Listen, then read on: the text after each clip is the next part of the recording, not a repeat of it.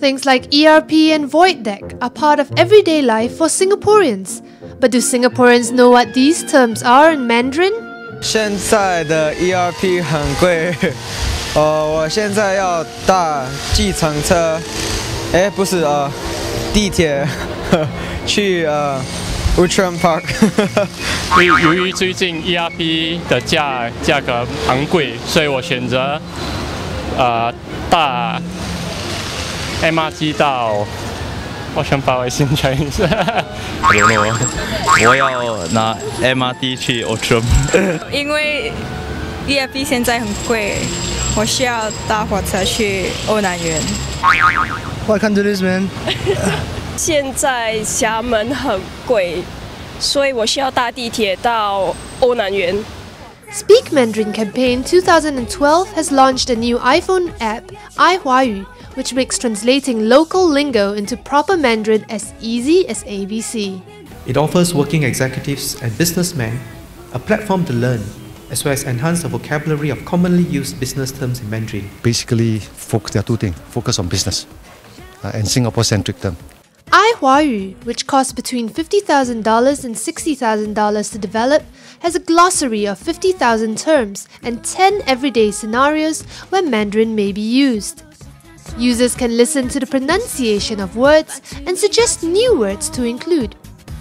An Android version is slated for the middle of 2013. 今年的讲华语运动将再接再厉，通过新颖有趣的活动，营造一个更活泼、更生活化的学习气氛，同时鼓励家长、学生 以及工作人士在日常生活中轻松自然地使用华语。 Let me now speak on how we can encourage Singaporeans to 多用华语. First, keep it fun.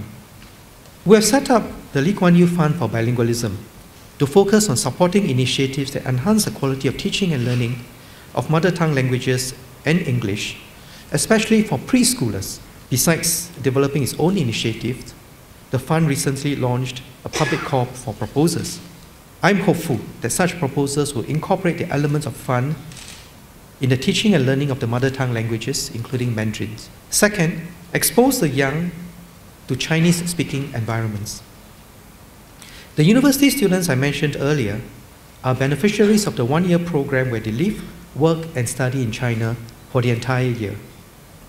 However, for some time now, we have been investing in the opportunities to put even younger students in touch with Chinese speaking environments. Last year alone, more than 15,000 students visited China and Taiwan for school immersion, cultural exchanges, and CCA competitions. Most of them are from our primary and secondary schools. We will continue to support schools in making such opportunities available to our students. The Speak Mandarin campaign, now in its 33rd year, also launched a new theme song which caters to a younger audience. 再多受伤都可以，再困难都别犹豫，完美也不过是反复练习。 The lyrics are pretty much um, the campaign message, which encourages you to uh, just speak more, 多说就可以, and uh, you shouldn't find any excuses to uh, not want to speak just because you're afraid you would make mistakes. What inspired you to compose the song?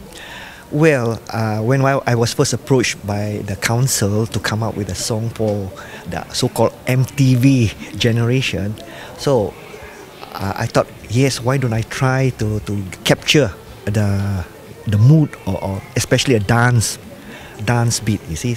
So that's what I, I went through the whole range of this K-pop, the J-pop, and you name it, you see. So that's how I came up with the lively beat first, and then I added in the melody. But obviously, I'm not a, a Mandarin songwriter. I got Nicole Nicole Chen to wr- write out the lyrics, plus added in this rap element. 这是让我变得勇敢，听听新的节奏，不同的表达，不同的感受，有话我们敢敢说。 Next up, check out what people think of the new iHuayu application.